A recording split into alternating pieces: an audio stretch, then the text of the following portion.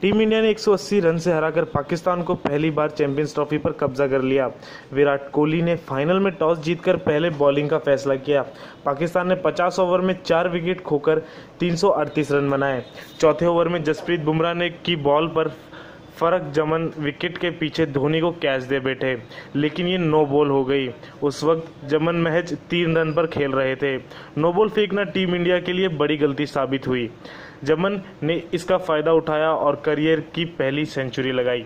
आइए जानते हैं वो पाँच कारण जिन्हों जिनकी वजह से टीम इंडिया को हार का सामना करना पड़ा। पहला कारण इंडियन बॉलर जन नहीं, जल्दी नहीं दिला पाए breakthrough Jasprit Bumrah, are Ashwin, Ravindra Jadeja और हार्दिक पांड्या जैसे स्पेशलिस्ट इंडियन बॉलर शुरुआत में विकेट ही नहीं ले पाए। मैच के शुरू से भी पाकिस्तान बैट्समैन हावी रहे और पहले विकेट के लिए ही सेंचुरी पार्टनरशिप हो गई। इसके अलावा पाकिस्तान ने दूसरे विकेट के लिए 72 और पाँचवें विकेट के लिए 71 रन की साझेदारी भी की।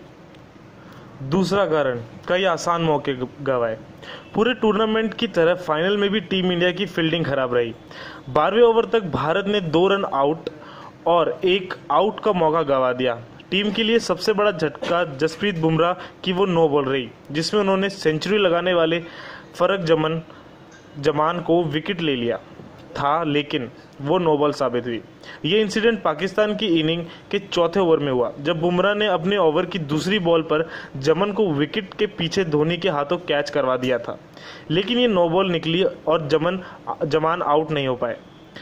इस जीवन दान के वक्त वो तीन रन ही बनाकर खेल रहे थे। बाद में उन्होंने 114 रन की इनिंग खेली।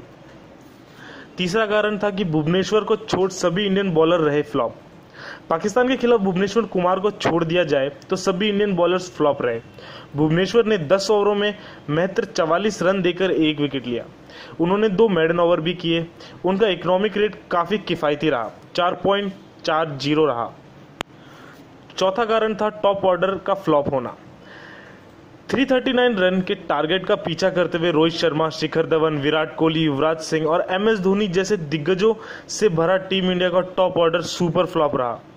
पिछले पाँच विकेट 54 रन पर ही गिरा दिए। इन पाँच में से सबसे ज़्यादा 22 रन युवराज सिंह ने बनाए। अंत में हार्दिक पांड्या ने ज़रूरी अच्छी बैटिंग की और 43 गेंदों में 76 रन बनाए। अपनी इनिंग में उन्होंने चार चौके और छह छक्के लगाए। पांचवा कारण था मोहम्मद आमिर और हसन अली की अटैकिंग बैटिंग पाकिस्तान के लिए Mohammad Amir match winning bowler रहे। आमिर ने ही टीम इंडिया के पहले तीन विकेट चटकाए, जिसमें रोहित शर्मा, शिखर धवन, विराट कोहली शामिल रहे। आमिर ने छह ओवर में 16 रन देकर तीन विकेट झटके। दो मेडन ओवर के साथ उनकी इकोनॉमी 2.66 रही। हसन अली ने तीन विकेट लिए। टीम इंडिया को 30.3 ओवर में समेटने में अहम भूमिका निभाई। अली ने 6.3 ओवर बॉलिंग कराते हुए 19 रन दिए। उन्होंने भी एक मैडन ओवर निकाला। 2.92 उनका इकोनॉमी रेट रहा। तो ये थे भारत के हारने के महत्वपूर्ण पाँच कारण। और भी खबरों के लिए जुड़े रहें हमारे साथ और हमें सब्सक्राइब करना ना भूलें।